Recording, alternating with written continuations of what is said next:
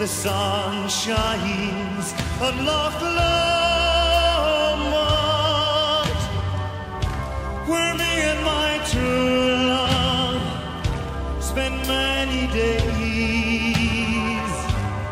On the banks of Loch Lomond.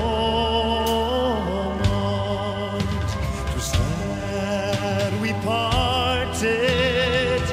And yon shady glen on the steep sides of Ben Lomond with a broken heart knows no second spring